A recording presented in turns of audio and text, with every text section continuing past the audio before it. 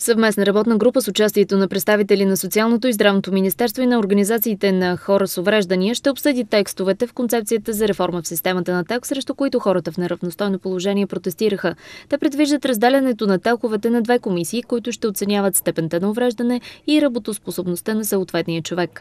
На този етап тази концепция в този вид ще бъде замразена т.е.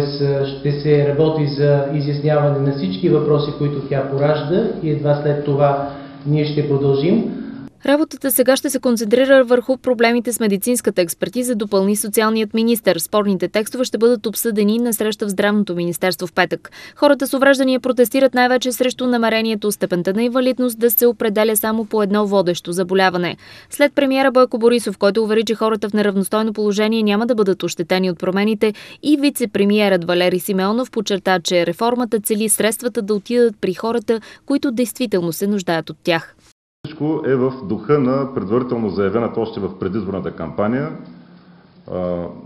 програма за оздравяване на системата за инвалидните пенсии, в които продължава да има доста сериозни злоупотреби, които се дължат на неправилни, фалшифицирани, да не кажа корумпирани, подкупни телкови решения.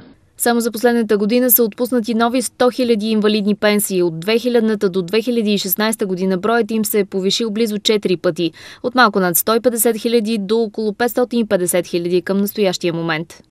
По отношение на експертиза на работоспособността имаме уверението, че финансовите ресурси няма да бъдат пренасочвани в други насоки, а пък ще бъдат запазени в сферата на политиките на хора с увреждания, което за нас е съществено и изключително важно ще бъдат пренасочени в други посоки, като част от тях ще бъдат пренасочени към а, обезпечаването на, на помощите за инвалиди, но в рамките на съответните нормативни, там приети формули и така нататък. Между 2000 и 2016 средствата, отделени за инвалидни пенсии, са се увеличили близо 7 пъти. Към момента те възлизат на 1 милиард и 700 милиона лева годишно.